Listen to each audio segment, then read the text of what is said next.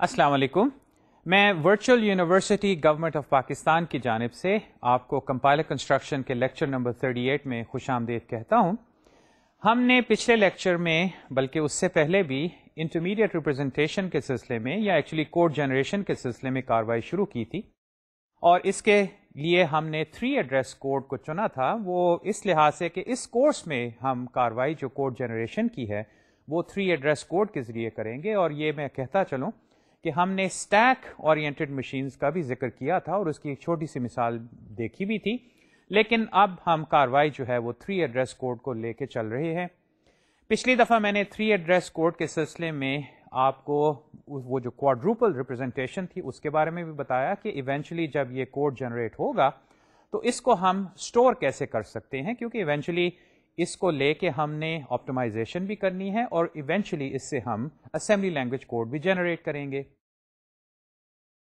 फिर हमने बात इस तरह की कि सिंटेक्स डायरेक्टेड ट्रांसलेशन स्कीम जो है वो इस इस चीज़ के लिए भी इंतहाई मुनासिब है कि हम अपने ग्रामर रूल्स में उसी तरह एड हॉक रूल्स या उनको अब एट्रीब्यूट ग्रामर्स के हवाले से भी देख सकते हैं, वो रूल्स अटैच कर देंगे।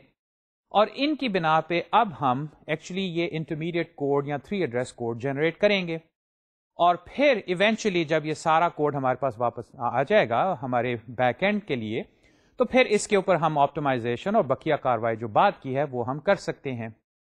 अब मैंने गुफ्तगु फिर इस तरफ़ मोड़ी कि इवेंचुअली जब आप प्रोग्रामिंग लैंग्वेजेस को देखते हैं तो उसमें कॉन्स्ट्रक्ट्स होते हैं प्रोसीजरल लैंग्वेजेस जो आपने इस्तेमाल की हैं जिनमें सी सी प्लस प्लस या जावा वीबी वगैरह। इन लैंग्वेजेस में आपको कॉन्स्ट्रक्ट्स बड़े टिपिकल से नज़र आते हैं। इफ़ देन एल्स हैं कंट्रोल स्ट्रक्चर्स हैं लूपिंग स्ट्रक्चर्स हैं डिक्लेरेशन स्टेटमेंट्स हैं। उसके बाद आप हायर देखते हैं कि किस तरह आप ब्लॉक्स बना लेते हैं कोड का, यानी कि वो कंपाउंड स्टेटमेंट्स फिर कंपाउंड स्टेटमेंट्स जो हैं, उनके ज़रिए आप स्टेटमेंट्स बनाते हैं। और ये स्टेटमेंट्स इकट्ठी होकर आप जनरली इसको एक प्रोसीजर या फ़ंक्शन में डाल देते हैं। और फिर ये कलेक्शन ऑफ़ फ़ंक्शंस जो है, अगर आप सी प्रोग्रामर हैं तो लेट्स से आप उसको किसी फ़ाइल में रख देंगे। अगर आप सी प्लस प्लस या ऑब्जेक्ट ओरिएंटेड प्रोग्रामिंग के हवाले से देख रहे हैं तो जनरली ये फ़ंक्शंस जो हैं, किसी क्लास की मेंबर फ़ंक्शंस होंगी, जो कि उस क्लास के ऑब्जेक्ट्स पे एक्ट करती हैं। अब ये जो कॉन्स्ट्रक्ट्स हैं, ये काफ़ी टिपिकल हैं, यानी कि आप सी जावा वीबी किसी भी लैंग्वेज में चले जाएँ, आपको सिंटेक्स में थोड़ा थोड़ा फ़र्क नज़र आएगा। फॉर एग्ज़ाम्पल शायद आपकी पैसकेल से मुलाकात ना हुई हो। पैसकेल में for example if then else जो था, उसमें कीवर्ड देन और कंपाउंड स्टेटमेंट्स बनाने के लिए कर्ली ब्रेसेस की बजाय बिगिन और एंड ये जो कीवर्ड्स हैं, ये इस्तेमाल होते थे। अलबत्ता, जो लैंग्वेजेस एल्गोल से डिराइव्ड हैं, जिनमें सी सी प्लस प्लस जावा ये लैंग्वेजेस शामिल हैं इनमें आपको ये नज़र आता है कि compound statements for example curly braces के ज़रिए आप बनाते हैं। इफ़ देन का जो स्ट्रक्चर है, वो भी काफ़ी कॉमन है। फिर अगर मल्टीपल इफ्स हैं तो बजाय आप if then else if then else करें, आप वो स्विच स्टेटमेंट इस्तेमाल कर लेते हैं। लूपिंग स्ट्रक्चर्स हैं वाइल लूप्स हैं डू वाइल है, जो कि शायद आपने ना इतना इस्तेमाल किया हो। फॉर लूप जो है, वो आप काफ़ी इस्तेमाल करते हैं। तो ये वो कॉन्स्ट्रक्ट्स हैं जो कि आपको प्रोग्रामिंग लैंग्वेजेस में नज़र आते हैं। अब आप, अब तक जहाँ तक एक फुल लैंग्वेज का ताल्लुक है, उसकी ग्रामर आप देख चुके हैं या के हवाले से। और हमने अपने प्रोजेक्ट के लिए जो छोटी सी लैंग्वेज बनाई है इसमें भी आपको ये फुल स्ट्रक्चर अब नज़र आ रहा है कि किस तरह एक फ़ंक्शन है। फ़ंक्शन के अंदर फिर पहले डिक्लेरेशन हैं और उसके बाद फिर ये स्टेटमेंट्स हैं। और स्टेटमेंट्स में फिर assignment statement flow control statements हैं लूपिंग स्टेटमेंट्स हैं एंड सो ऑन तो अब हमारी ज़िम्मेदारी एज कंपाइलर राइटर्स ये है कि ये जो कॉमन प्रोग्रामिंग कॉन्स्ट्रक्ट्स हैं, इनके लिए हमने कोड जनरेट करना है और इवेंचुअली जो कार्रवाई हम कर रहे हैं वो ये कि पहले हम उसका थ्री एड्रेस कोड जनरेट करेंगे और इस थ्री एड्रेस कोड को आप बाद में देखेंगे कि किस तरह हम इस पे ऑप्टिमाइजेशन स्ट्रैटेजीज चला सकते हैं, जिससे ये और इम्प्रूव हो जाएगा। और फाइनली फिर हम, हमारे केस में असेंबली लैंग्वेज जनरेट करेंगे, लेकिन जैसे कि मैं अर्ज़ कर चुका हूँ यहाँ पे आप दूसरे जो स्टाइल्स हैं, उनको भी अपना सकते हैं। अब एब्सोलूट मशीन कोड भी जनरेट कर सकते हैं बाइनरी या जिस तरह जावा का केस है कि वो बाइट कोड जो है एक स्टैक ओरिएंटेड मशीन के लिए जनरेट कर देता है। तो हमने अब ये करना है कि इन कॉन्स्ट्रक्ट्स के लिए ये एड हॉक जो कोड है, ये जो स्निपेट्स मैं लफ्ज इस्तेमाल करता रहता हूँ ये वो क्या होंगे जो कि हम अपनी ग्रामर के प्रोडक्शन रूल्स के साथ अटैच करेंगे? और फिर, जैसे कि आप आप देख चुके हैं, बल्कि प्रैक्टिस भी कर चुके हैं प्रोजेक्ट में, कि जब पार्सर चलता है और वो अपनी पार्सिंग हमारे केस में let's say bottom up parsing जब हम करते हैं तो ये रूल्स फायर होते हैं और इसकी बिना पे हमारे पास अब वो थ्री एड्रेस कोड जो है वो निकलेगा। तो अब हमने डिस्कशन इस तरफ़ ले जानी है कि प्रोग्रामिंग कॉन्स्ट्रक्ट्स लें। और इनके लिए फिर ये एड हॉक स्निपेट्स बनाएँ। वो हम अपनी ग्रामर में डाल देंगे और आप जो हैं, वो प्रोजेक्ट में यैक के हवाले से एक्चुअली यैक की जो फ़ाइल है स्पेसिफिकेशन फ़ाइल उसमें एग्जैक्टली exactly यही स्निपेट्स थोड़ी सी इसमें चेंजेस करके आप डालेंगे और जब आप अपना पार्सर चलाएँगे या अपना कंपाइलर चलाएँगे तो आप देखेंगे कि उसमें से एग्जैक्टली exactly यही थ्री एड्रेस कोड जो है, ये वाकई निकलता है। तो एक लिहाज से ये जो डिस्कशन है थियोरेटिकल भी समझे और प्रैक्टिकल इस तरह समझे कि ठीक है, अब कंपाइलर्स ऐसा करते हैं, लेकिन इस केस में अब आपको प्रोजेक्ट के सिलसिले में भी ये कार्रवाई करनी होगी। तो अब आइंदा इस लेक्चर में और बल्कि अगले शायद लेक्चर में भी हम ये मुख्तलिफ़ कॉन्स्ट्रक्ट्स जो हैं, इनके लिए ये स्निपर्स डेवलप करेंगे। और आप देखेंगे कि स्निपर्स डेवलप करने के लिए पहले हम एक किस्म की स्ट्रैटेजी डेवलप करेंगे। और वो स्ट्रैटेजी की वजह कुछ यूँ है। कि अभी तक जो मैंने चंद एक मिसालें आपको दिखाई हैं, उसमें आपने देखा है कि प्रोग्रामिंग कॉन्स्ट्रक्ट्स में हम फॉर एग्जांपल अगर आप ये इफ़ स्टेटमेंट ले लें तो हम अब आदत सी बन गई है कि इफ़ देन एल्स या इफ़ देन एल्स और इसकी जो मल्टीपल केसेस हैं कि इफ़ और एल सिफ फिर एल सिफ फिर एल सिफ इस तरह करते करते हम इतमान से ये लॉजिकल टाइप जो फ्लो कंट्रोल है, इसको इंप्लीमेंट कर लेते हैं। और हमें लगता है कि ये बड़ा नेचुरल सा तरीका है कि अगर आपने मल्टीपल केसेस हैं या दो केसेस हैं कि अगर ट्रू है तो ये करो फॉल्स है तो ये करो, इसको हम इफ़ देन एल से इनकोड करते हैं। लेकिन एज असेंबली लैंग्वेज प्रोग्रामर आपको पता है कि टिपिकली असेंबलर्स जो हैं या मशीन का अगर आप इंस्ट्रक्शन सेट देखें तो उसमें आपको इस तरह के कॉम्प्लेक्स कॉन्स्ट्रक्ट जो हैं वो नहीं मिलते। वहाँ पे simple move load branching instructions हैं कंपेयर इंस्ट्रक्शंस हैं। और कंपेयर इंस्ट्रक्शंस के बारे में आपको मालूम होगा, या तो वो कोई कंडीशन रजिस्टर सेट कर देती हैं, या ये भी है कि आप किसी वैल्यू को ज़ीरो और नॉन ज़ीरो के हवाले से देखती हैं, देख लेते हैं।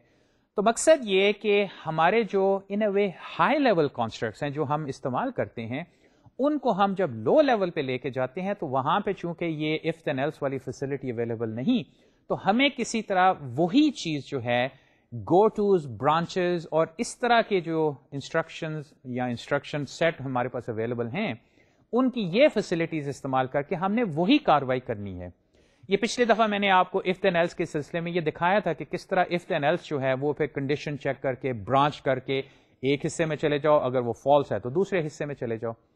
तो ये ये जो कार्रवाई है कि हम जो प्रोग्रामिंग कॉन्स्ट्रक्ट जो कि हम, या मैं जो कह रहा हूँ कि हाई लेवल है उसको हम इस तरह लो लेवल में टिपिकली ये ब्रांचेस गो टूज और इस तरह की जो चीज़ें हैं, इसमें कन्वर्ट करेंगे। दूसरी बात यह है, और फिर वही के इंस्ट्रक्शन सेट में कि अगर आपके पास एक कंपाउंड एक्सप्रेशन है, जैसे two plus three minus four या अरिथमेटिक एक्सप्रेशन ले ले, जिसमें मल्टीपल ऑपरेटर्स हैं। अब आप सी में तो बड़े इतमान से लिख देंगे एक्स इक्वल और फिर सारी जो उसकी राइट हैंड साइड टर्म्स है, उसमें बेशक जितने मल्टीपल आपके एडिशन सब्ट्रैक्शन मल्टीप्लिकेशन वगैरह ऑपरेटर्स हों। लेकिन थ्री एड्रेस कोड के हवाले से भी और इवेंचुअली अब असेंबली लैंग्वेज में भी देखते हैं कि इस तरह के ये जो मल्टीपल ऑपरेटर्स हैं, ये एक सिंगल स्टेटमेंट में आप टिपिकली नहीं करते, आप वन एट अ टाइम वाली स्कीम जो है वो इस्तेमाल करते हैं। तो ये भी आप देखेंगे कि किस तरह जब आपको ये कंपाउंड स्ट्रक्चर्स मिलेंगे, जिस तरह कंपाउंड बुलियन स्टेटमेंट है एंड और के ज़रिए हम कंपाउंड उसको करते हैं तो इसको भी हम फर्दर ब्रेक करेंगे। ये मिसाल मैंने आपको अरिथमेटिक एक्सप्रेशन से दिखाई थी कि किस तरह अगर आपके पास एक लंबा सा अरिथमेटिक एक्सप्रेशन है तो उसमें प्रेसिडेंस रूल्स वगैरह वगैरह को लेके किस तरह हमने उसको मल्टीपल थ्री एड्रेस स्टेटमेंट्स में ब्रेक किया। तो ये जो दो चंद एक बातें हैं, खासियत, इससे भी शायद ये चीज़ अब सामने आती है कि ये जो हाई लेवल और लो लेवल वाली बात थी, ये फिर क्या थी? कि ये हाई लेवल कॉन्स्ट्रक्ट जो हम इस्तेमाल करते हैं मशीन लेवल पे जाके टिपिकली आपके पास नहीं होते। हाँ आप ये कह सकते हैं कि कुछ असेंबलर्स इतने स्मार्ट हैं कि उनमें ये कॉन्स्ट्रक्ट अब अवेलेबल हैं। आप उसको मैक्रोज कह सकते हैं। ऐसा भी है, ये नहीं मैं कहता कि इंस्ट्रक्शन या असेंबली लेवल पे जाके अब आप बिल्कुल ही लो लेवल पे चले जाते हैं, जहाँ पे simply go to branches compares और मूव और लोड हैं। तो अब ये सारी जो तमहीद है, इसको लिए अब हम जो हमारे कॉन्स्ट्रक्ट्स हैं, उनके लिए ये एड हॉक स्कीम्स जो हैं ये डेवलप करेंगे। और जैसे कि मैंने अर्ज़ किया, उसमें थोड़ी सी अब हम स्ट्रैटेजी की डिस्कशन करेंगे कि ये इवेंचुअली कोड कैसे होगा।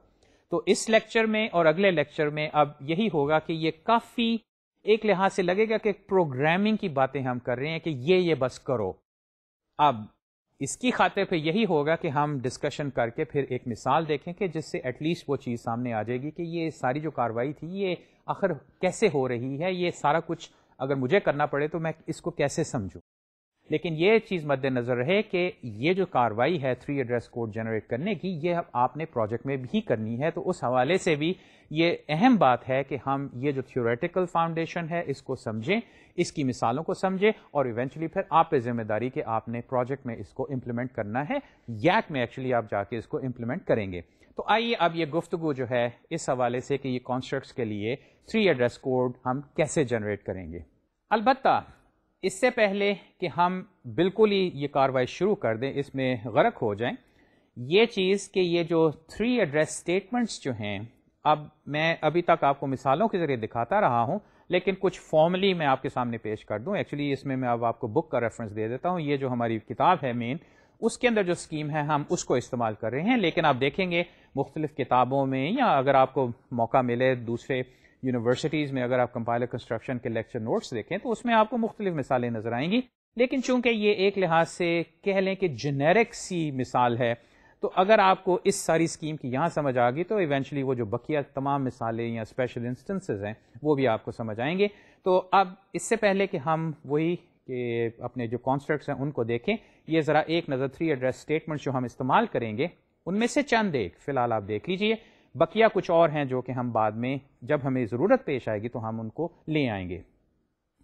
सबसे पहले जो थ्री एड्रेस स्टेटमेंट है, वो असाइनमेंट स्टेटमेंट के लिए है। उसकी फॉर्म जो है, वो X equal Y op Z है।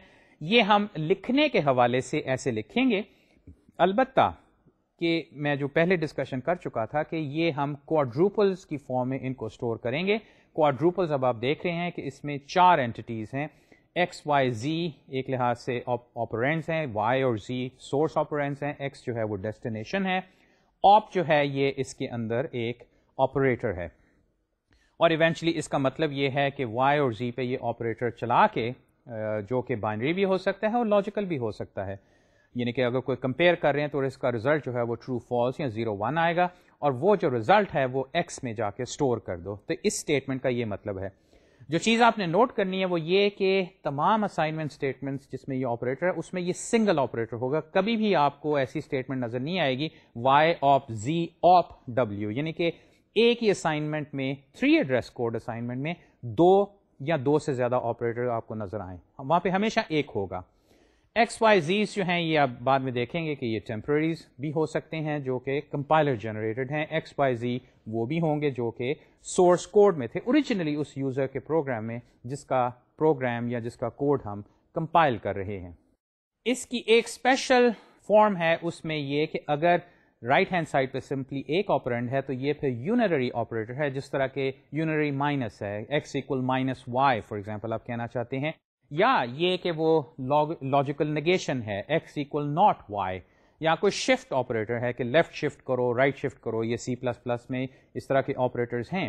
लॉजिकल नॉट ऑपरेशन भी है जो कि बिट पैटर्न को नॉट कर देता है। अगर ज़ीरो है तो उसको वन कर देगा वन है तो उसको वो ज़ीरो कर देगा। सो so एनीवेज ये भी एक स्पेशल फॉर्म है असाइनमेंट स्टेटमेंट uh, की थ्री एड्रेस स्टेटमेंट की जिसमें कि राइट हैंड साइड पे सिंपली एक ऑपरेंट है और ये operator unary operator copy statement simply अब यहाँ पे ऑपरेटर भी नहीं है। इसका मतलब सिंपली ये कि जो y की वैल्यू है, वो x को असाइन कर दो। अब आप अगर मेमोरी के सेंस में सोच रहे हैं तो y की जो कॉपी है, वो ऑफ़ कोर्स x में चली जाएगी और x के कंटेंट्स जो हैं, वो डिस्ट्रॉय हो जाएँगे। अनकंडीशनल जंप ये अब आप अगर असेंबली लैंग्वेज का हवाला भी ले लें तो ये आप देख चुके हैं कि वहाँ पे अनकंडीशनल ब्रांच होती है कि सिंपली ब्रांच कर जो किसी और स्टेटमेंट पे। अब इसके कई तरीके हैं कि ब्रांच कर दो किसी लेबल पे और ये स्टेटमेंट जो है, उसको आप एक लेबल दे देते हैं। ये असेंबली लैंग्वेज प्रोग्राम में आप कर चुके हैं कि स्टेटमेंट्स को आप लेबल दे देते हैं। ये ब्रांच ऐसे भी हो सकती है कि current location plus certain number of instructions या करंट लोकेशन माइनस सर्टन तो ये एक किस्म की रिलेटिव जंप्स हैं। आपके पास एब्सोलूट जंप्स भी हो सकती हैं। फॉर एग्जांपल अगर आप सिस्टम uh, प्रोग्रामिंग के हवाले से देखें तो ऑपरेटिंग uh, सिस्टम जो है फ़र्स्ट करें फिक्स्ड मेमोरी में कहीं एक्चुअली लोडेड है वहाँ पे कोई हैंडलर बैठा हुआ है तो आप उस स्पेशल एड्रेस पे जंप कर जाते हैं क्योंकि आपको पता होता है कि वो हैंडलर जो है वो इस फ़िज़िकल मेमोरी लोकेशन पे बैठा हुआ है तो आप वहाँ पे एक लिहाज से एब्सोलूट एड्रेस दे के वहाँ पे जंप कर जाते हैं। अब एक्चुअली ये सारी बातें कुछ लगता है कि असेंबली लैंग्वेज से मिलती जुलती हैं और ये वाकई ही है कि मैं शुरू में भी बल्कि ये कह चुका था कि थ्री एड्रेस कोर्स जो है, इसमें आपको लगेगा कि जैसे अब हम असेंबली लैंग्वेज में ही प्रोग्रामिंग कर लें। तो अगर ऐसा आप समझें तो इसमें एक्चुअली कोई मुजायका नहीं, क्योंकि इससे ये सारी बातें जो हैं, ये काफ़ी हद तक समझ भी आ जाएँगी और मिसालें समझना काफ़ी आसान होगा। एनीवेज अनकंडीशनल जंप अब आपके सामने है कि अगर आपको ये इंस्ट्रक्शन नज़र आती है तो लेबल जिस स्टेटमेंट का ये लेबल एल है वहाँ पे कंट्रोल जो है आपने उधर ट्रांसफ़र कर देना है। अब वो वहाँ पे क्या है, ये अब उस कोड पे डिपेंड करता है। कंडीशनल जंप ये अब असेंबली लैंग्वेज से थोड़ी सी मुख्तलिफ़ है कि हमने एक लिहाज से वो ज़रा सी कॉम्प्लेक्स सी एक स्टेटमेंट यहाँ पे लिख दी है कि if X relational operator Y go to L मतलब ये है कि एक्स और वाई के दरमियान ये बाइनरी ऑपरेटर जो है रिलेशनल ऑप इसको लो और इसको इस पे अप्लाई करो एक्स और वाई पे। और अगर ये रिलेशनल ऑपरेशन जो है, या ऑपरेटर ट्रू यील्ड करता है तो गो टू एल अदरवाइज़ इस स्टेटमेंट के बाद जो भी थ्री एड्रेस स्टेटमेंट होगी सिंपली उस पर चले जाओ। तो ये अब आप असेंबली लैंग्वेज में अगर आप सोचें तो ये कैसे करते हैं? टिपिकली ये वो जो कंडीशनल जंप होती है, कि लेट्स से कंपेयर करो कोई रजिस्टर की वैल्यू को ज़ीरो के साथ, या वो नॉन नेगेटिव है, या वो पॉजिटिव है या जैसे कि मैंने अर्ज़ किया, आप बाज का दो ऑपरेंट्स को कंपेयर भी कर सकते हैं। कुछ इंस्ट्रक्शन सेट्स हैं जिसमें कि आप directly actually less than greater than comparison कर सकते हैं। तो हासिल ये कि हम भी अपने थ्री एड्रेस जो स्कीम है, उसमें ये चीज़ रखेंगे कि अगर दो क्वांटिटीज़ जो हैं, उनको हम लॉजिकली कंपेयर करें और उनमें वो रिलेशनशिप अगर वो ट्रू है तो गो टू एल यानी कि इधर चले जाओ। अगर वो ट्रू नहीं है तो फिर इस स्टेटमेंट के बाद जो भी आ रही है, उस स्टेटमेंट को एक्सिक्यूट कर दो। तो ये हमारी है वो कंडीशनल जंप वाली बात आ गई। अच्छा अब यहाँ पे अब थोड़ा सा लग रहा है कि हम वापस कुछ प्रोग्रामिंग लैंग्वेजेस की तरफ़ आ गए कि वहाँ पे अरेज होती हैं। अगर आप सोचें कि असेंबली लैंग्वेज में वैसे हम अरेज तो नहीं इस्तेमाल करते थे अलबत् ये ज़रूर है कि मैं जब प्रोग्राम लिखता हूँ सी में लिखता हूँ, उसमें अरेज होती हैं और इवेंचुअली वो असेंबली लैंग्वेज में जाके वो सारी चीज़ काम करती है। तो उसका एक तरीका ये भी होता है कि आप रे का जो जो नाम है, उसको एज अ कांस्टेंट पॉइंटर समझ लेते हैं कि वो मेमोरी में एक कंटिगुअस सेट ऑफ़ लोकेशंस का स्टार्ट है। तो फिर ये जो x इक्वल वाई आई है, इसका मतलब ये है कि जो भी y को चंक मेमोरी का असाइन हुआ हुआ है, उसके स्टार्टिंग पॉइंट से आई मेमोरी यूनिट्स को एज एन ऑफसेट लेके मूव करो नीचे। अब इसमें ये जो x इक्वल वाई आई है, इसका मतलब ये है कि y की स्टार्टिंग पॉइंट से आई मेमोरी लोकेशंस आगे जाके जो भी वैल्यू मिलती है, उसको x को असाइन कर दो। अच्छा अरे में अब आपको पता होगा कि ये जो ऑफसेट है, ये जो अरे के एलिमेंट्स हैं, उनकी टाइप पे डिपेंड करता है। अगर वो कैरेक्टर है तो ऑफसेट एक बाइट है। अगर लेट्स से वो इंटीजर है तो वो चांसेस हैं फोर बाइट्स होगा। अगर फ्लोटिंग पॉइंट नंबर्स हैं अरे के अंदर तो वो एट बाइट्स होगा। या अगर वो ऑब्जेक्ट्स हैं तो फिर वो पूरे ऑब्जेक्ट का साइज़ होगा जिसपे ये ऑफसेट जो है, ये काम करेगा। इसी तरह जो दूसरा सिंटेक्स है एक्स आई इक्वल वाई इसका मतलब है कि जो आयथ लोकेशन एक्स की कह लें, या ये कि एक्स के स्टार्टिंग पॉइंट से आई ऑफसेट पे जो मेमोरी लोकेशन है, उसमें जाके वाई की वैल्यू जो है, जो भी है, उसको वहाँ पे लोड कर दो। और ये दूसरी बात जो मैंने अब दोहरा दी है यहाँ पे कि दूसरे केस में set contents of the location i memory units beyond x to y ये वो चंद स्टेटमेंट्स हैं जो कि थ्री एड्रेस कोड के हवाले से हम जनरेट जो करेंगे, उसमें हम ये स्कीम इस्तेमाल करेंगे। और जैसे कि मैंने अर्ज़ किया, हमारी किताब जो हम इसमें कोर्स में इस्तेमाल करें, उसमें ये स्कीम इस्तेमाल होती है और आपको टिपिकली और किताबों में भी या और रेफरेंसेस में ये नज़र आएगी। ये भी मैं कहता चलूँ कि जो स्टैक ओरिएंटेड मशीन्स हैं या जो रिस्क आर्किटेक्चर्स हैं, उसमें शायद ये ज़रा से मुख्तलिफ़ हो। ख़ासतौर पर जो स्टैक ओरिएंटेड मशीन है, उसके अंदर फिर आपको वो पुश पॉप वाली कार्रवाई सारी नज़र आएगी। लेकिन जैसे कि मैंने अर्ज़ किया, हम थ्री एड्रेस कोड इस्तेमाल कर रहे हैं, हम स्टैक ओरिएंटेड कोड इस्तेमाल नहीं कर रहे।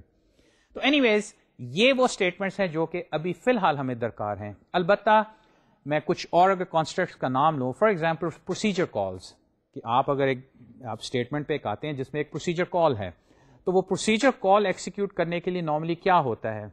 अब प्रोग्रामिंग के हवाले से आपको बताया गया है कि भाई प्रोसीजर की जो आर्ग्यूमेंट्स होती हैं, वो रन टाइम स्टैक पे पुश हो जाती हैं रिटर्न एड्रेस की एक लोकेशन उसके लिए आ जाती है। और उसके बाद फिर आप कंट्रोल जो है, वो उस प्रोसीजर उस रूटीन को ट्रांसफ़र कर देते हैं एज एफ़ के जैसे कि वो एक गो टू है। तो इसके लिए भी थ्री एड्रेस स्टेटमेंट्स हम बाद में देखेंगे कि हैं इस तरह अवेलेबल वो सिंपली ये है कि जितने उसके पैरामीटर्स हैं, वो parameter one parameter two parameter three इस तरह की वो स्टेटमेंट्स आपको नज़र आएँगी। और फाइनली जो है, एक गो टू एक अनकंडीशनल जंप होगी, जिससे आप अपने कोड के किसी और हिस्से में चले जाएँगे, जहाँ पे एक्चुअली उस प्रोसीजर का कोड अब आ जाएगा। इसी तरह पॉइंटर्स हैं। आप सी में पॉइंटर्स या सी प्लस प्लस में इस्तेमाल करते रहे हैं। तो हम थ्री एड्रेस कोड में ये भी चीज़ डाल सकते हैं कि किस तरह हम एक पॉइंटर को डी रेफरेंस कर सकते हैं, वो स्टार पी वाली बात या स्टार पी इक्वल आई वाली बात। तो ये जो बातें हैं, ये हसप ज़रूरत हम इनको ले आएँगे। मैं ये नहीं चाहता कि हम ये पूरी थ्री एड्रेस की जितनी भी पॉसिबिलिटीज हैं अभी डिस्कस कर लें, क्योंकि फ़िलहाल जो हम कॉन्स्ट्रक्ट कर रहे हैं, उसमें फॉर एग्ज़ाम्पल अभी हम प्रोसीजर कॉल्स नहीं कर रहे। तो एनीवेज जो हमें दरकार हैं, वो मैंने फ़िलहाल आपके सामने पेश कर दी, लेकिन मद्देनजर ये बात रहे कि बकिया जो प्रोग्रामिंग कॉन्स्टेंट्स है, उनके लिए हमें शायद कुछ और थ्री एड्रेस स्टेटमेंट्स का सहारा लेना पड़े, और जब ज़रूरत होगी, हम उनको ले आएँगे। अच्छा अब आइए ये कि हमने ये थ्री एड्रेस कोड जो है, इसको जनरेट किया तो क्वाड्रूपल के फॉर्म्स में अगर इसको मैं अरे में लोड करूँ तो इसमें एक एक उसकी जो फॉर्म है, वो क्या हो सकती है, ये भी जरा एक नज़र देख लीजिए। यहाँ पे मैंने अब वो अरे ऑफ़ क्वाड्रूपल्स दिखाई है और इसमें एक और मैंने कॉलम एक्चुअली बीच में डाल दिया है लेफ़्ट हैंड साइड पे अगर आप देखें लेबल उसके अलावा ये बाकी चार जो हैं ये वैसे ही हैं कि वो टारगेट जो है L1 और operator if less than argument one c argument two d ये जो पहली स्टेटमेंट uh, है ये बेसिकली ये कह रही है कि अगर C जो है वो D से छोटा है लेस देन है ये if under score L T जो है इसको अब मैं एज एन ऑपरेटर कह रहा हूँ कि ये बुलियन ऑपरेटर है। तो अगर C is less than D तो go to l one basically ये पहले क्वाड्रूपल का ये मतलब है। उसके बाद एक अनकंडीशनल गो टू है गो टू एल टू तो मकसद ये कि जो हम क्वाड्रूपल में एक स्कीम बना सकते हैं कि जो टारगेट है, वो या तो मेमोरी लोकेशन हो सकती है इवेंचुअली रजिस्टर भी में भी हम स्पेसिफाई कर सकते हैं टिपिकली ये मेमोरी लोकेशन होगी। और अगर वो कंडीशनल या अनकंडीशनल ये ट्रांसफ़र स्टेटमेंट है तो उस केस में यहाँ पे हम टारगेट रखेंगे। फिर बकिया ये जो क्वाड्रूपल्स हैं, ये आप अब देखेंगे तो आप समझ जाएँगे कि इसमें क्या कार्रवाई कार्रवाई हो रही है। एक्चुअली ये सिंपली एक इफ्तन एल्स है, जो कि अभी हमने पहले देखी थी। अलबत्त ये जो लेबल वाला कॉलम है, इसको भी ज़रा देख लीजिए कि मैंने यहाँ पे ये एल वन कोलन और एल टू कोलन और एल थ्री कोलन नोटेशन इस्तेमाल की है। मकसद ये कि जब मैं कोई गो टू एल टू या गो टू एल थ्री या go to l one type statement लिखता हूँ तो अगर आप देखना चाहते हैं कि ये L1, L2, L3 क्या है या कहाँ पे हैं तो ये लेबल कॉलम में जाके देख लीजिए। जिस क्वाड्रुपल के साथ ये लेबल लगा हुआ है मकसद ये कि यहाँ पे कंट्रोल को ट्रांसफ़र कर दो। अच्छा हम बाद में देखेंगे कि बजाय हम एक्सप्लिसिट लेबल्स को इस्तेमाल करें हम एक लिहाज से ये जो अरे में हर क्वाड्रुपल की पोजिशन है यानी कि ये जो पहली स्टेटमेंट है l one if underscore l t c d ये फ़र्ज़ करें अरे पोजिशन वन है। उसके बाद ये go to l two array position two में है। तो एक्चुअली ये जो लेबल एल वन है, एक लिहाज से ज़रूरी नहीं क्योंकि ये जो statement x plus y z है x equal actually y plus z है, ये तीसरी है। तो अगर मैंने एल वन पे आना है तो एक तरीका ये भी हो सकता है कि जहाँ से मैंने कहा है कि गो टू एल वन वहाँ पर मैं कह दूँ go to dot plus two यानी कि इस स्टेटमेंट से दो आगे चले जाओ। या ये कि इस अरे में जो इसका इंडेक्स है, उसको मैं सिंपली इस्तेमाल करूँ कि गो टू अब थ्री में मतलब उसका मेरा ये होगा कि जो क्वाड्रूपल थ्री है। ये हम जब बाद में बॉटम अप पार्सिंग के हवाले से ये देखेंगे कार्रवाई तो उसमें हम एक्सप्लिसिट लेवल्स की बजाय एक्चुअली हम क्वाड्रूपल अरे पोजिशंस जो हैं अरे इंडेक्स जो है, उसको एज अ लेबल इस्तेमाल करेंगे। खैर एनीवेज जो इफ़ देन एल्स हमने पहले कवर की थी, अब उसको मैंने आपके सामने अरे ऑफ़ क्वाड्रूपल्स की सूरत में पेश किया है। और यहाँ पे एक और चीज़ देख लीजिए कि जो ऑपरेटर्स हैं, उनके लिए जहाँ तक बुलियन ऑपरेटर्स हैं, उनके लिए मैंने ये नोटेशन इस्तेमाल की है if under score L T यहाँ पर मैं कह सकता था c m p l t या कोई और ऐसे नोटेशन इस्तेमाल कर लें, जिससे ये ज़ाहिर हो कि ये एक्चुअली एक बुलियन ऑपरेटर है प्लस माइनस बकिया चीज़ें जो हैं ऑफ़ कोर्स वो, वही स्टैंडर्ड अरिथमेटिक ऑपरेशन हैं। अब आइए हमारी जो एक्चुअल अब कार्रवाई है कि हमने, हमारी जो प्रोग्रामिंग कॉन्स्ट्रक्ट्स हैं, उनके लिए थ्री एड्रेस स्टेटमेंट्स जनरेट करनी है। अच्छा अब एक लिहाज से देखा जाए तो मैं किससे शुरू करूँ बात?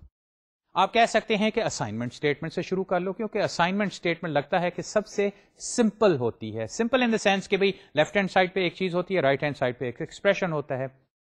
लेकिन राइट हैंड साइड पे एक्सप्रेशन को अगर देखें तो वो एक पूरा अरिथमेटिक एक्सप्रेशन हो सकता है, एक बुलियन एक्सप्रेशन भी हो सकता है, वो प्रोसीजर कॉल भी हो सकती है। उसके लिए हम ट्रीटमेंट एक्चुअली पहले कर चुके हैं। आपको याद होगा कि किस तरह मैंने वो एक्सप्रेशन ग्रामर में दिखाया था कि किस तरह वो सिंटेक्स डायरेक्टेड कोड जो है वो जनरेट होता है। तो असाइनमेंट स्टेटमेंट को एक लिहाज से हम कर चुके हैं। और उसमें जो सिर्फ़ बात थी वो ये थी कि अगर असाइनमेंट स्टेटमेंट की राइट हैंड साइड पे जो एक्सप्रेशन है उसमें मल्टीपल ऑपरेटर्स हैं मीनिंग के plus minus divide and so on यानी कि एक कंपाउंड एक्सप्रेशन है। तो उसको हमने, जिस तरह हमने पार्सिंग उसकी की थी, कि one expression at a time हमने उसको इन अ सेंस एक्सट्रैक्ट कर लिया। और प्रेसिडेंस के हवाले से हमने मल्टीप्लिकेशन पहले की, फिर जो माइनस वाली कार्रवाई थी, वो हमने बाद में की थी। तो असाइनमेंट स्टेटमेंट जिसकी राइट हैंड साइड पे एक अरिथमेटिक एक्सप्रेशन था, उसमें सिंपली जो कार्रवाई थ्री एड्रेस कोड के हवाले से हमने करनी थी, वो ये कि इस कंपाउंड एक्सप्रेशन को बस simply one operator time break कर दो और वो ब्रेकेज कैसी थी? ऑफ़ कोर्स वो प्रेसिडेंस के हवाले से कि कौन सा ऑपरेटर पहले आएगा, कौन सा बाद में। तो वहाँ पे ये गो टूज का, ये लेबल्स का मसला नहीं था। जहाँ पे ये गोटूज वाले ये जो छलांगे मारनी पड़ जाती हैं कोड में, क्योंकि इस थ्री एड्रेस कोड पे भी और बाद में असेंबली लैंग्वेज कोड पे चूँकि हमारे पास इफ़ देन एल्स अवेलेबल नहीं है तो हमें अब ये स्किपिंग करनी है कि कोड से चीज़ को चेक करके कंडीशन को जंप करो या ना जंप करो। इफ़ देन एल्स के केस में आप देख चुके हैं। वाइल लूप में भी ये होगा कि वाइल के आखिर में जाएँगे कंडीशन अगर ट्रू है तो फिर वापस आ जाएँगे। अगर फॉल्स है तो फिर हम जंप कर जाएँगे वाइल की बॉडी से। तो इस जंपिंग की खातिर हमें अब ये चीज़ देखनी है कि वो जो एक्सप्रेशन जो जनरली बुलियन होंगे, उनको कैसे हैंडल करें, क्योंकि वो भी कंपाउंड हो सकते हैं। उसमें भी वो एंड और आ जाएगा। और दूसरा ये कि ये जो जंपिंग कंडीशनल या अनकंडीशनल करनी है, ये कहाँ जाना है? आगे जाना है, पीछे जाना है, कितनी लोकेशंस आगे जाना है, कितनी लोकेशंस पीछे जाना है? या ये कि कभी कोर्ट के बिल्कुल दरमियान में से छलांग मार के आगे जाना है। जैसे कि अगर आप सोचें कि वाइल लूप में अगर एक ब्रेक स्टेटमेंट डाल दें आप, यानी कि इफ़ वाइल लूप एक चल रहा है दरमियान में आके इफ़ समथिंग ट्रू ब्रेक अब ये ब्रेक का क्या मतलब होता है? यानी कि वो वाइल लूप जो एक्सिक्यूट हो रहा है, उससे सीधी छलांग मार के बाहर चले जाओ। वाइल लूप को वहीं उसके कदमों में रोक के बाहर चले जाओ। तो ये जो छलांगे आप मार रहे हैं, इसको हमने अब एक्सप्लिसिट कंडीशन ये जो इफ़ ये हमने डील किया है थ्री एड्रेस कोड में, इनके ज़रिए कंडीशनल जंप्स और अनकंडीशनल जंप्स के ज़रिए और ये लेबल्स के ज़रिए करना है। तो कार्रवाई हम इस तरह करेंगे कि ये जो हमारे बुलियन एक्सप्रेशन हैं इवेंचुअली देखा जाए तो यही डिसाइड कर रहे होते हैं कि किसी हिस्से को स्किप करना है कि नहीं। यानी कि इफ़ स्टेटमेंट की जो, का जो सिंटेक्स है वो क्या है? इफ़ बुलियन एक्सप्रेशन और फिर स्टेटमेंट एल्स समथिंग एल्स तो ये जो फ्लो ऑफ़ कंट्रोल है, इसमें असल में देखा जाए तो सारा जो डिसीज़न मेकिंग प्रोसेस है वो इस एक्सप्रेशन में है, इस बुलियन एक्सप्रेशन में जो कि कंपाउंड हो सकता है। तो पहले इसको हम पकड़ते हैं। कि इसके लिए हम थ्री एड्रेस कोड कार्रवाई क्या करेंगे? और फिर वो जो देन और एल्स या एल सेफ़ वगैरह की जो बात है, वो फिर हम बाद में हैंडल कर लेंगे। तो आइए पहले हम इस एक्सप्रेशन को देखते हैं और उसके बाद फिर हम वो जो इफ़ देन वाला और एल्स वाला हिस्सा है, और इवेंचुअली फिर वाइल में भी यही होगा। वाइल है, फिर एक्सप्रेशन है। डू वाइल में भी एक्सप्रेशन है। फॉर स्टेटमेंट उसमें भी एक्सप्रेशन है। ये बुलियन एक्सप्रेशन इन सारी फ्लो कंट्रोल स्टेटमेंट्स में आ जाता है। तो इसकी खातिर अब हमें क्या कार्रवाई करनी है, उसके लिए आप देखते हैं हम ये जो एड हॉक स्कीम है, ये हम कैसे डेवलप करेंगे। इसके पीछे जैसे कि मैंने अर्ज़ किया, वो जो सोच है लेबलिंग की और जंपिंग की, वो भी सामने आ जाएगी। We associate with the boolean expression e two labels e dot true और ई डॉट फॉल्स अब यहाँ पे दो बातें, या एक्चुअली दो से ज़्यादा बातें हैं कि बुलियन एक्सप्रेशन है कहाँ पे है? इफ़ में भी हो सकता है वाइल में भी हो सकता है। कोई ऐसी स्टेटमेंट फ्लो ऑफ़ कंट्रोल जिसमें ये लफ्ज जो कंट्रोल है, ये क्या चीज़ कंट्रोल एक्चुअली कौन कर रहा है? वो ये बुलियन एक्सप्रेशन है। दूसरा ये कि ये कंपाउंड भी हो सकता है। तीसरा ये कि हम एडहॉक स्कीम तो इस्तेमाल कर रहे हैं, लेकिन इसके पीछे वो सारा फॉर्मलिज्म एट्रीब्यूट ग्रामर्स का है तो यहाँ पे मैं एक्चुअली कह ये रहा हूँ कि एक एक्सप्रेशन ई e जो हमारा ग्रामर का सिंबल होगा उसके साथ हम दो एट्रीब्यूट्स नए लगा रहे हैं ट्रू और फॉल्स अब इसको ये ना समझिए कि ये बुलियन ट्रू और बुलियन फॉल्स हैं, ये सिंपली एट्रीब्यूट्स हैं, उनका मैंने नाम इस्तेमाल कर लिया ट्रू और फॉल्स मैं उसको कह सकता था टी एल ए बी या एफ़ एल ए बी यानी कि ट्रू लेबल फॉल्स लेबल लेकिन मुनासिब लगता है कि हम ट्रू और फॉल्स को इस्तेमाल करें। यानी कि ये वो दो लेबल्स होंगे। अब ये लेबल्स क्या हैं? ये अभी जो मैंने आपको दिखाया था, या तो वो एल वन एल टू वाली बात होगी एक्सप्लिसिट लेबल्स होंगे, या बाद में आप देखेंगे कि ये किसी क्वाड अरे के अंदर किसी क्वाड्रूपल का इंडेक्स होगा। यानी कि वो अरे पोजिशन टेन है तो ई डॉट ट्रू को टेन दे देंगे। अगर किसी और क्वाड्रूपल पे जाना है, उसकी वैल्यू थर्टी है, और ई डॉट फॉल्स को वो थर्टी देनी है तो ई डॉट फॉल्स में एक्सप्लिसिटली हम इंटजर या ये नंबर थर्टी जो है, ये डाल देंगे। खैर एनीवेज ये अभी बातें आ रही हैं। जो चीज़ मैं आपके सामने रखना चाहता हूँ वो ये कि आप एट्रीब्यूट ग्रामर्स का हवाला जहन से ना निकालिएगा, ये वही चीज़ है, यानी कि हमने दो एट्रीब्यूट्स रखे हैं। The control flows to E dot true if the expression evaluates to true to E dot false otherwise.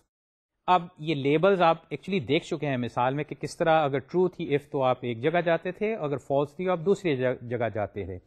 लेकिन इसको ज़रा ग्राफिकली देखिए, ये आपको ज़्यादा बेहतर समझ आएगी। यहाँ पे अब मैंने एक लिहाज से वो कोड के ब्लॉक्स हैं और वो ब्लॉक्स को मैंने कुछ लेबलिंग के हवाले से और कुछ ये ट्रांसफ़र कंट्रोल के हवाले से आपके सामने पेश किया है। और इसमें अभी आप थोड़ी सी एनिमेशन देखेंगे कि फ़र्स्ट करें स्टेटमेंट है, यानी कि वो अब आप बुलियन या अपनी ग्रामर के हवाले से देखिए कि एस जो हम अभी तक इस्तेमाल कर रहे हैं फॉर स्टेटमेंट के प्रोग्रामिंग स्टेटमेंट्स जो हैं वो क्या होती हैं? अब यहाँ पे मैं ये कह रहा हूँ कि वो एक इफ़ स्टेटमेंट हो सकती है कि s goes to if e then s one इसमें क्या होगा कि ये जो ई डॉट कोड है, अब देखिए ई e जो है इसका एक्चुअली कुछ कोड होगा, यानी कि वो एक बुलियन एक्सप्रेशन है।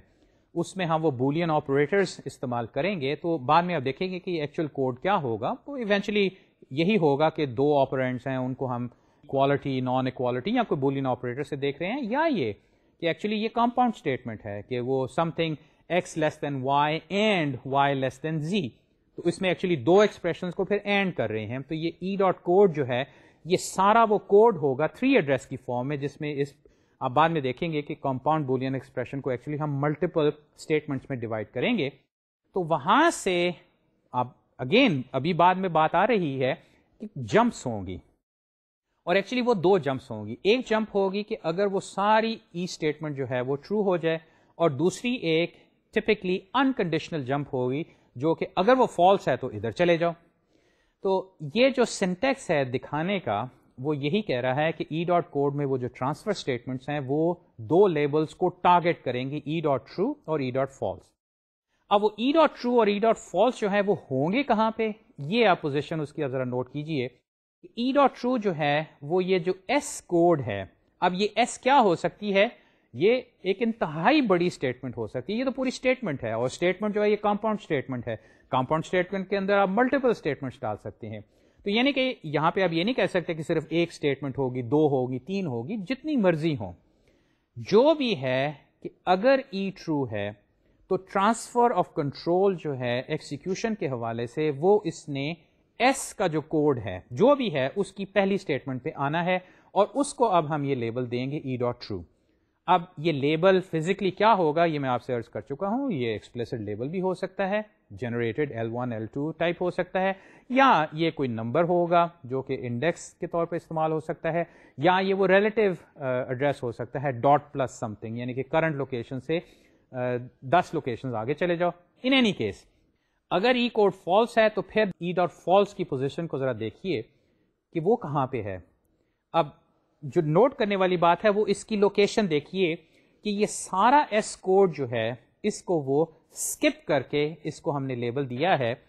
तो अगर कंट्रोल के हवाले से देखें और ये ग्राफिकली इसको समझने की अगर आप कोशिश करें तो साफ़ सी बात है कि जो भी ये डायग्राम कहने की कोशिश कर रहा है, उसके पीछे कोई इतनी लंबी साइंस नहीं। सिंपली ये कि भाई ई e कोड जो है उसको इवेल्युएट करो। और उसमें से अगर ट्रू रिज़ल्ट निकलता है तो ट्रांसफ़र कंट्रोल कर दो ई डॉट ट्रू लेबल वाली स्टेटमेंट पे वरना ट्रांसफ़र कर दो कंट्रोल ई डॉट फॉल्स वाली स्टेटमेंट पे। और आप समझ गए होंगे कि वाकई ही अगर ई डॉट ट्रू है तो एस को एक्सिक्यूट करना है और अगर ई uh, फॉल्स है तो फिर उसको नहीं एक्सिक्यूट करना। और ये भी कि देखिए एस कोड जब ख़त्म होता है तो वहाँ पे भी कोई ट्रांसफ़र स्टेटमेंट नहीं है, क्योंकि साफ़ ज़ाहिर है कि अगर एस डॉट कोड एक्सिक्यूट हो गया तो उसके बाद नेचुरली जो भी आगे आ रहा है वो आप करेंगे। ये तो वो बात थी ना कि अगर इफ़ ई फॉल्स है तो फिर आपने इसको स्किप करना है। लेकिन अगर आपने इसको एक्सिक्यूट कर दिया तो फिर आप ठीक है, आगे चलते जाएँ। तो ई डॉट फॉल्स जो है, ये पोजिशन के हवाले से यहाँ पे है, लेकिन एक्सिक्यूशन के हवाले से ये ई डॉट कोड जो है, यही चीज़ डिसाइड कर रही है। खैर ग्राफिकली रिप्रेजेंट करने से शायद ये जो कार्रवाई है, बेहतर भी समझ आ जाती है, लेकिन इवेंचुअली हमने ग्राफिकली तो ये करना नहीं, हमने एक्चुअल कोड किसी तरह जनरेट करना है, या ये कि हमने वो सिंटेक्स डायरेक्टेड जो कोड स्निपेट्स हैं, वो जनरेट करने हैं, वो लिखने हैं, जो कि इवेंचुअली हम ग्रामर प्रोडक्शंस के साथ अटैच कर देंगे और जब वो पार्सर एक्सिक्यूट करेगा तो ये कोड स्निपेट भी एक्सिक्यूट हो जाएगा, जिसकी बिना पे अब ये चीज़ हमने किसी तरह एक्सट्रैक्ट करनी है कि हमारा सिंटेक्स डायरेक्टर पार्सर जो है, वो ये ई डॉट कोड और ई डॉट लेबल्स जो हैं ट्रू फॉल्स वगैरह वगैरह, ये किसी तरह जनरेट करे। और यहाँ पे अब वही बात जो हम पहले देख चुके हैं कि कोड स्निपेट्स होंगे, उनकी फॉर्म जो है वो अभी थोड़ी थोड़ी वेरिएशंस के साथ मैं पेश करूँगा। बाद में जब हम एक्चुअल बॉटम अप पार्सिंग के हवाले से देखेंगे और एक खास स्कीम बैक पैचिंग जो हम इस्तेमाल भी करेंगे अपने प्रोजेक्ट में, उसके लिए फिर जो कार्रवाई होगी वो अभी बाद में आ रही है। तो इस हवाले से अब ये कि मैं, ये जो तरीकाकार है कि एक स्टेटमेंट मैं लूँगा यानी कि अपनी ग्रामर प्रोडक्शन जो कि रिप्रेजेंट करेगी किसी प्रोग्रामिंग कॉन्स्ट्रक्ट को इफ़ देन एल्स वाइल वगैरह, उसके साथ मैं एक ग्राफिकल रिप्रेजेंटेशन दिखाऊँगा कि हम ये जो जंपिंग कर रहे हैं और टेस्टिंग कर रहे हैं और कहाँ जाना है, कहाँ नहीं जाना, ये चीज़ हम ग्राफिकली पहले डिटरमिन कर लेंगे और इसके साथ फिर हम जो एक्चुअल कोड है एड हॉक कोड जो स्निपेट है, वो हम लिख लेंगे या आप कह लें कि एट्रीब्यूट जो हमने इवेल्युएट करने हैं या कंप्यूट करने हैं, वो हम लिख देंगे। और जैसे कि मैंने अर्ज़ किया इवेंचुअली एक तो आप कह सकते हैं कि हैंड एक्सरसाइजेस आप अगर करेंगे तो इस चीज़ की समझ आएगी, मैं भी आपके सामने मिसालें पेश करूँगा। लेकिन ये कि ये जो सारी कार्रवाई है, ये प्रोजेक्ट में एक्चुअली होगी, आप यैक ग्रामर के अंदर ये चीज़ें डालेंगे। तो अब ये जो कार्रवाई है बकिया, ये थोड़ा सा मैं तेज़ी से चलाऊँगा, इसमें जो अहम बातें हैं उनको मैं उजागर करता रहूँगा, लेकिन एक लिहाज से अब कार्रवाई तेज़ी से करके कि भाई ये सारी स्कीम क्या है, इसको लो फिर इसकी एक दो मिसालें करो और फिर इवेंचुअली हम इस चीज़ के लिए तैयार हो जाएँ कि ठीक है, अब मैं जाके अपने जो पार्सर को मैं जो बना रहा हूँ, उसमें ये सिंटेक्स डायरेक्टर स्कीम को मैं अब इंसर्ट कर दूँगा। तो अब ये कि बकिया जो चंद एक कॉन्स्ट्रक्ट्स हैं, सारे नहीं, चंद एक जो अहम कॉन्स्ट्रक्ट्स हैं, उनको मैं अब आपके सामने पेश करता हूँ। ये पहले बात कि ग्राफिकली जो हमने अभी कार्रवाई की है, इसके लिए जो सिंटेक्स डायरेक्टर ट्रांसलेशन है, उसको भी देख लीजिए। अब ये वो एक लिहाज से एट्रीब्यूट्स को इवेल्युएट करने वाली बात है, उनकी कॉम्पिटिशन है। जो कि एक लिहाज से देखा जाए ज़रा प्रोग्रामिंग टाइप लगेगी। हमने सबसे पहले कार्रवाई जो फ्लो कंट्रोल की की वो ये थी कि हमारे पास स्टेटमेंट है ग्रामर स्टेटमेंट है s goes to if e then s one अब इसके लिए जो एट्रीब्यूट्स हैं ई डॉट ट्रू इसको हम कैसे कंप्यूट करेंगे? ये हम एक न्यू लेबल रूटीन है जिसको मैंने फ़िलहाल यहाँ पे दिखाया है आपको कि न्यू लेबल रूटीन जो है ये हमारे लिए एक unique label L1, L2 type late से जनरेट करेगी। और भी स्कीम्स इस्तेमाल की जा सकती हैं। ये यूनिक इंडेक्स भी हो सकता है। खैर एनीवेज इससे अभी हमें सरोकार नहीं सिंपली ये कि न्यू लेबल जो है, हमें एक नया लेबल दे रही है। और जो भी इसने यूनिक दिया, उस वैल्यू को मैंने ई डॉट ट्रू जो एट्रीब्यूट है, इस ई ग्रामर सिंबल का, इसमें मैंने रिकॉर्ड कर लिया। ई डॉट फॉल्स जो है, इसको अब देखिए मैं क्या असाइन कर रहा हूँ। एस डॉट नेक्स्ट और ये ज़रा अगली स्टेटमेंट भी देख लीजिए। कि एस वन डॉट नेक्स्ट जो एट्रीब्यूट है, यानी कि ये जो एस है, इसका एक एट्रीब्यूट नेक्स्ट है। इनको मैं सेट कर रहा हूँ, बल्कि ई डॉट फॉल्स को मैंने सेट किया एस डॉट नेक्स्ट के साथ, और s one dot next s one का मतलब ये कि ये जो राइट हैंड साइड पे एस आ रहा है, देखिए एक लेफ़्ट हैंड साइड पे भी है और एक राइट हैंड साइड पे भी है। इन दोनों में डिस्टिंग्विश करने के लिए मैंने राइट हैंड साइड वाले को एस वन कहा है। इसका जो नेक्स्ट एट्रीब्यूट है, उसको मैंने एस डॉट नेक्स्ट कहा है। अच्छा अभी थोड़ी सी बात ये नेक्स्ट की होगी, लेकिन ज़रा एक गौरतलब बात ये देखिए। याद है वो सारा सिंथेसाइज एट्रीब्यूट्स और इनहेरिटेड एट्रीब्यूट्स वाली बात? अब ज़रा ये देखिए कि एस जो है एज ए सिंबल कहाँ पे है? यानी कि इस ग्रामर रूल में देखिए, वो कहाँ पे है? एस वन नहीं एस वो एक्चुअली लेफ़्ट हैंड साइड पे है। आपको याद है कि अगर हम लेफ़्ट हैंड साइड सिंबल का कोई एट्रीब्यूट इस्तेमाल करें राइट हैंड साइड के एट्रीब्यूट्स कंप्यूट करने के लिए तो ये है इनहेरिटेड एट्रीब्यूट यानी कि हमने लेफ़्ट हैंड साइड से ये चीज़ इनहेरिट की है। तो एक लिहाज से अगर हम टॉप डाउन पार्सर ये बिल्ड कर रहे हैं या वो ट्री बिल्ड कर रहे थे तो जो पेरेंट नोड है, उसका कोई एट्रीब्यूट जो है, वो हम लेके हम इसकी, ये जो चिल्ड्रन नोड हैं, इनमें इस्तेमाल कर रहे हैं। तो यहाँ पे आप देखिए, वही ग्रामर वाले, जो एट्रीब्यूट ग्रामर्स वाली बात अभी तक चल रही है, क्योंकि याद है आपको कि हमने वो फॉर्मुलिज्म सारा बनाया था और उसके बाद कहा था कि भाई ठीक है, ये जो थोड़ा सा इनहेरिटेंस वाला मामला है प्लस कुछ और मसाइल हैं, उसकी बिना पे हम इसकी एक एड हॉक वर्जन जो है उसको इस्तेमाल करेंगे और इवेंचुअली एक्चुअली इसकी वाकई ही हम एड हॉक वर्जन बनाएँगे।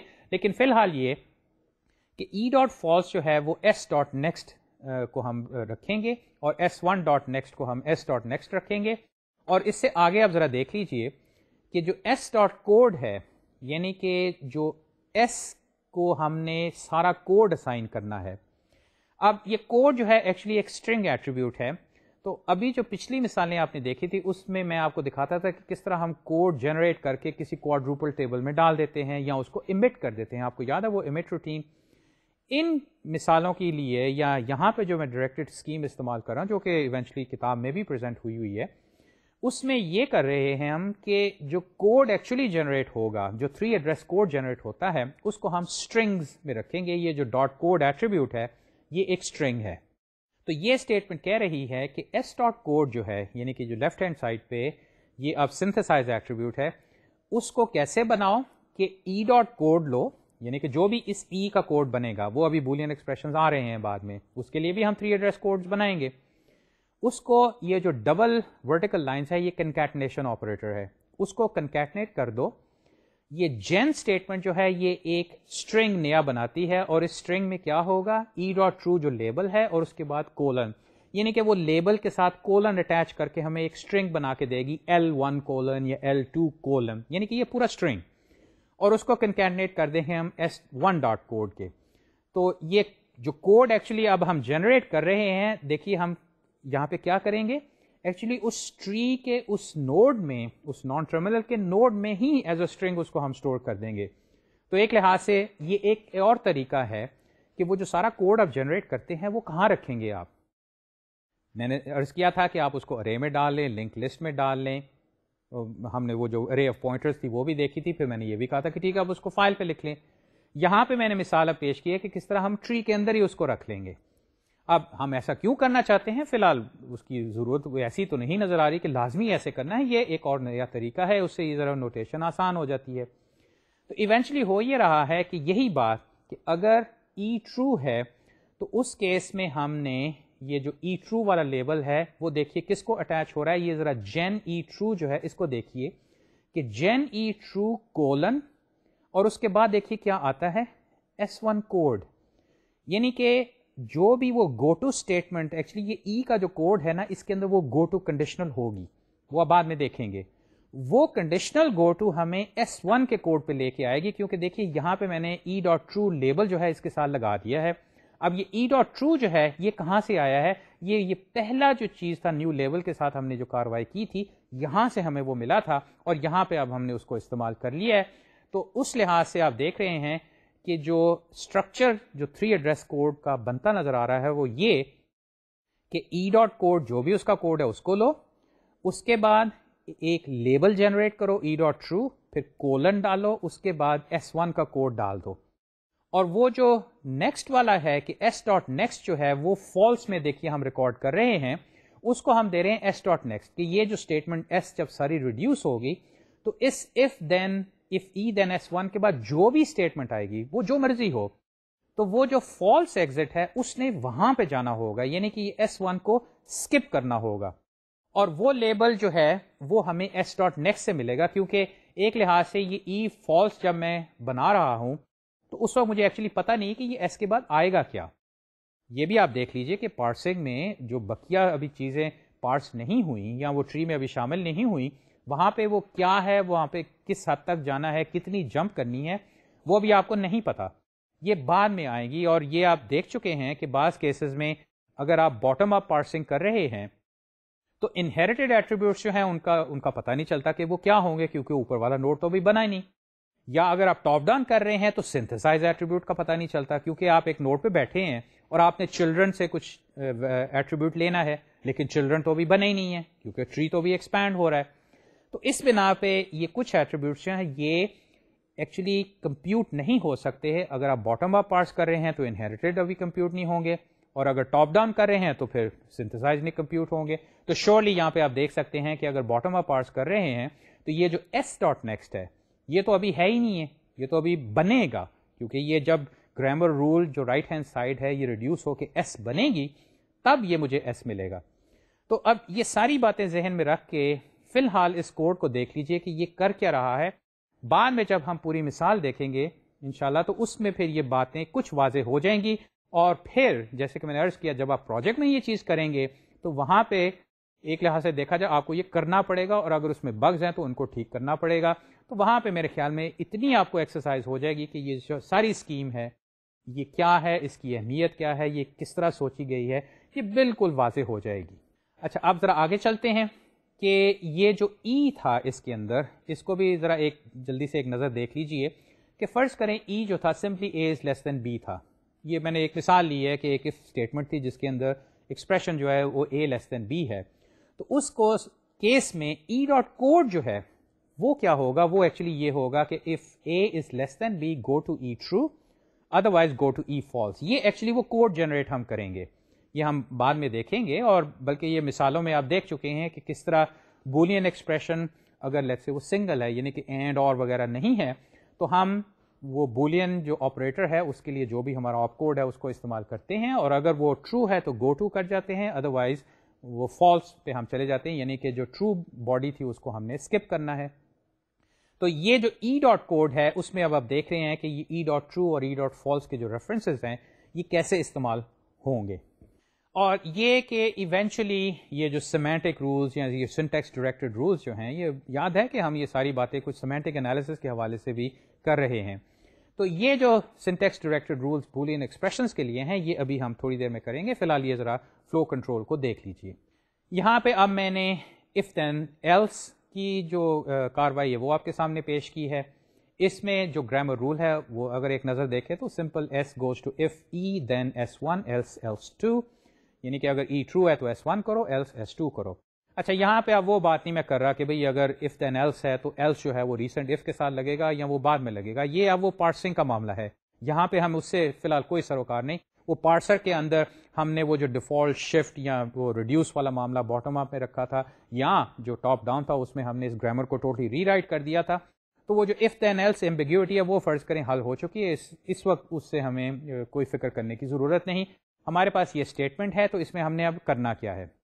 करने के लिहाज से बात ज़रा सी सिंपल है कि अगर ई डॉट ट्रू है, यानी कि ई e जो है वो ट्रू है तो उस केस में हमने क्या करना है? हमने एस वन का जो भी कोड है, अब ये एस वन जो मर्ज़ी हो सिंगल स्टेटमेंट हो मल्टीपल स्टेटमेंट्स हो, यहाँ पे हमने जाना है, जो कि ये देखिए मैंने आपको दिखाया है यहाँ पे अब आके हम S1 को चलाएँगे। अब ये पूरा ब्लॉक S1 के लिए है और ये लिनियरली चल रहा है। फ़र्ज़ करें, यहाँ पे फ़िलहाल अभी कोई और गोटूज नहीं है या अगर हैं तो वो इसके अंदर ही हैं, छुपी हुई हैं। हम पूरी एस स्टेटमेंट को देख रहे हैं, उसके पूरे कोड ब्लॉक को देख रहे हैं। अब ये कि जब S1 एक्सिक्यूट हो जाता है तो हमने क्या करना है? एक्चुअली S2 को नहीं एक्सिक्यूट करना। क्योंकि देखिए, अब ये जो आप go to S dot next आप देख रहे हैं, अगर ये गो टू ना हो तो फिर क्या होगा? वो तो एस टू भी एक्सिक्यूट हो जाएगा।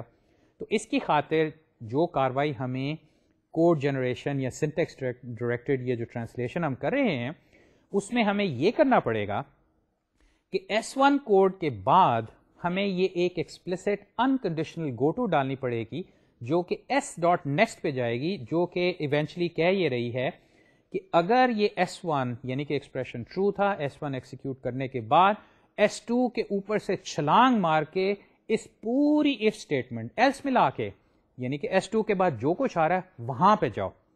यानी कि इस केस में एस टू को स्किप कर जाओ। और अगर आप वापस आए, और अगर ये ई e जो है, ये फॉल्स है तो उसमें वो जो अनकंडीशनल गोटो होगी, वो कहाँ पे जाएगी? आप समझ गए होंगे, वो हमें ई डॉट फॉल्स पे लेके आएगी। यहाँ पे अब हम ये एस टू डॉट कोड को एक्सिक्यूट करेंगे। और S2 कोड जो है श्योरली अब इसके बाद जो भी आ रहा है, वो हम उसको चलाएँगे। तो यानी कि आप यहाँ पे आ जाएँगे, यहाँ पे जो भी अब S के बाद जो कुछ भी आ रहा है, वो एक्सिक्यूट होगा। S1 को तो हम वैसे स्किप कर आए हैं और उसकी बिना पे अब हम S2 में आए थे। S2 से अब हम S नेक्स्ट जो भी आ रहा है, उसको हम एक्सिक्यूट करेंगे। ये फिर वही ग्राफिकल नोटेशन जो हमने इस्तेमाल की थी। पहले ज़रा सी एक्सपैंडेड है, लेकिन इसमें अब वो क्लियरली बात नज़र आ रही है कि वो कौन सा हिस्सा जो है हमने स्किप करना है, कहाँ से हमने कंट्रोल कहाँ पे ट्रांसफ़र करना है। और ये जो लेबलिंग है, ये इसकी खातिर के जो हमारी एक्सप्लिसिट जंप्स होंगी कंडीशनल या अनकंडीशनल वो कहाँ पे जाएँगी।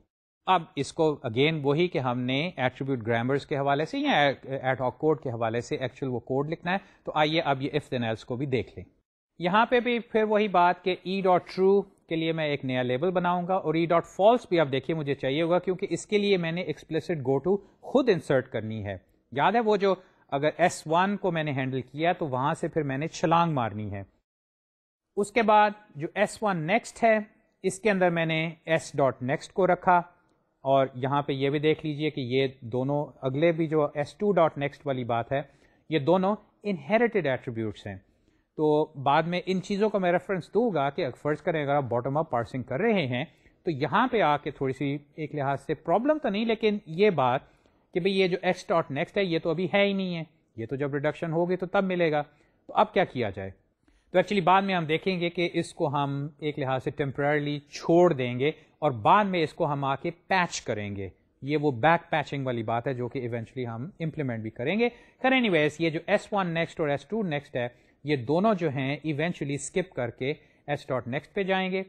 ये यहाँ पे हमने उसको स्टोर किया। और अब ये जो पूरा कोड है, यहाँ पे अब ये जो सारे ब्लॉक्स मैंने बनाए थे, ये अब आपको नज़र आ रहे हैं कि ई डॉट कोड जिसमें वही if condition go to E dot true और go to E dot false ये वही होगी। बेशक वो कॉम्प्लेक्स हो जाए, लेकिन इवेंचुअली होगी यही। उसके बाद हम ये E dot true colon string generate कर रहे हैं। उसको मैंने कंकेटनेट किया एस वन कोड के साथ। अब एस वन कोड क्या है? जो भी है, जब भी एस वन रिड्यूस हुई थी, इसका कोड बना था, क्योंकि देखिए ये सिंटेक्स डायरेक्टेड स्कीम जो है, ये पार्सिंग में चल रही है। तो अगर हम एस वन को रिड्यूस कर चुके हैं तो एक्चुअली ये सारा कोड अब as an attribute dot code as a string attribute S one में मौजूद है। और ये सिंथेसाइज है, यानी कि नीचे से आ रहा है तो इसको हम अब ले लेंगे। उसके बाद ये कि एस वन कोड के फ़ौरन बाद हमने एक्सप्लिसिट अनकंडीशनल गो टू डालनी है, जो कि एस नेक्स्ट को जाएगी। और एस नेक्स्ट जो है ऑफ़ कोर्स वो स्किप कर जाएगी। ये वाली अब जो कार्रवाई ई डॉट फॉल्स की है, ये वो कोलन लेबल बना और उसके बाद एस टू डॉट कोड है। और इसके बाद मुझे अब लिखने की ज़रूरत नहीं, क्योंकि इसके बाद एक्चुअली जो एस स्टेटमेंट है, जो भी इफ़ इफ़ एल्स के बाद आ रही है, उसकी बॉडी या उसका कोड जो है, वो यहाँ पे आ जाएगा। और बाय द वे ये देखिए कि ये अब मैंने जब एस को रिड्यूस किया तो किसी और लार्जर इफ़ स्टेटमेंट जो इसको भी इंक्लोज कर रही है, उसमें वो ये एस वन बन सकता है या वो एस टू बन जाएगा। तो किस तरह देखिए ये सिंटेक्स डायरेक्टेड और पार्सिंग एक्शन के ज़रिए, अब आप कह सकते हैं कि मुझे जितनी बड़ी मर्ज़ी एफ़ एल्स दे दो, मुझे उससे कोई सरोकार नहीं। मेरी ये जो सारी स्कीम है, उसको बड़े इतमान से वो हैंडल कर लेगी। आगे चलिए वाइल्ड ई को भी देख लीजिए।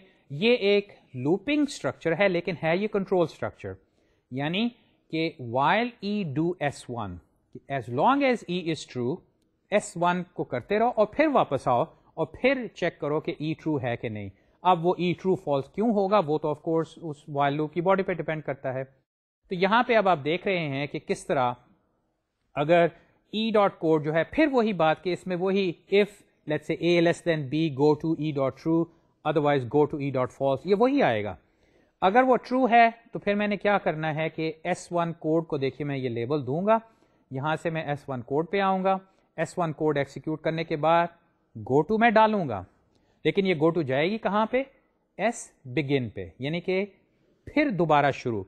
और ये लेबल भी मैं अब एक लगाऊँगा जो कि, देखिए, मैं किसको दे रहा हूँ? इस एक्सप्रेशन के कोड को। यानी कि वापस आओ और फिर इस एक्सप्रेशन को इवेल्युएट करो। प्रिसाइसली यही हमने करना होता है। अब दूसरी बात यह है कि अगर वो फॉल्स है तो फिर क्या? स्किप करो। और देखिए मैंने स्किप क्या क्या? किया एस वन कोड को किया और ये जो गो टू एस बिगिन है, इसको भी मैंने स्किप कर दिया। तो ये वो कार्रवाई है जो कि अब अगर आप आगे चलें, और यहाँ से अब ठीक है, बकिया स्टेटमेंट्स एग्जीक्यूट होंगी, लेकिन जहाँ तक इसकी अब वो कह लें एट्रीब्यूट ग्रामर्स की बात है एस डॉट बिगिन एक नया लेबल है ई डॉट ट्रू एक नया लेबल है ई डॉट फॉल्स को मैं एस डॉट नेक्स्ट में रखूँगा, ये इनहेरिटेड एट्रीब्यूट और एस वन डॉट नेक्स्ट जो है, ये भी एक एट्रीब्यूट है, लेकिन ये अभी मैंने कंप्यूट कर लिया है। ये ऊपर जो एस डॉट बिगिन है तो एक लिहाज से ये तो मुझे मिल गया, लेकिन एस डॉट नेक्स्ट अभी मुझे नहीं मिला। एस डॉट कोड जो है, इसको मैंने अब वही जो सारी कार्रवाई है कि एस डॉट बिगिन कोलन के बाद ई डॉट कोड को रखा कंकैटनेट किया, उसको ई डॉट ट्रू लेबल उसके बाद एस वन कोड को, और फिर ये go to S dot begin explicit जो है इसको मैंने डाला, जो कि मुझे वापस यही एस डॉट बिगिन में ले आएगा और ये एस डॉट बिगिन जो है, ये मैंने अभी अभी ऊपर जो है उसको जनरेट किया है। अब मुझे उम्मीद है कि ये जो कार्रवाई हम कर रहे हैं, इसमें से आपको वो जो एक जहनीत सी है कि ये जो थ्री एड्रेस कोड जनरेट करने का मामला है सिंटेक्स डायरेक्टेड कैसे है? दूसरा ये कि थ्री एड्रेस कोड या असेंबली लैंग्वेज अगर आप कहना चाहते हैं, उसकी जो लिमिटेशंस होती है कि उसमें कॉम्प्लेक्स ऑपरेटर्स नहीं होते इफ़ देन एल्स नहीं होता, उसमें जंप्स होती हैं। और सिंपल सिंगल असाइनमेंट या सिंगल ऑपरेटर स्टेटमेंट्स होती हैं। इन सारी चीज़ों को लेके हम ये जो हाई लेवल कॉन्स्ट्रक्ट्स है, इनको किस तरह लो लेवल में ले आते हैं? और बाद में ये लो लेवल जो है, मैं बार बार कह रहा हूँ कि एक्चुअली ये बिल्कुल असेंबली लैंग्वेज लग रही है और एक्चुअली ऐसा है। सिर्फ़ हमें इवेंचुअली ये करना होगा कि ये जो हमारे पैरामीटर वेरिएबल्स ऑपरेंट्स हैं, इनको हमें रजिस्टर्स में लाना होगा या रजिस्टर से निकालना होगा, क्योंकि हम चाहते हैं कि सारी कार्रवाई जो है वो रजिस्टर्स में हो। अब चूँकि आज के लेक्चर का वक्त खत्म हुआ चाहता है, अभी ये जो बकिया बुलियन एक्सप्रेशन के सिलसिले में था और फिर एक्चुअल कोई मिसाल जो करने वाली कार्रवाई है, ये आज तो हम नहीं कर पाएँगे। मेरी तजवीज़ कि आप किताब में ये सारी कार्रवाई देख लीजिए, ये किताब में से ही है सारी, ये मिसालें वहीं से हैं। और हम इंशाल्लाह अगली दफ़ा इन मिसालों को भी देखेंगे और फिर इवेंचुअली जो हमने करना है कि बॉटम अप पार्सिंग में एक्सप्लिसिटली ये कोड जो है वो क्या होगा, जो कि हमारी यैक जो ग्रामर हम बना रहे हैं, उसमें ये सिंटेक्स ट्रैक्टर स्टेटमेंट्स चली जाएँगी। बकिया डिस्कशन अगले लेक्चर में, तब तक खुदा हाफिज़।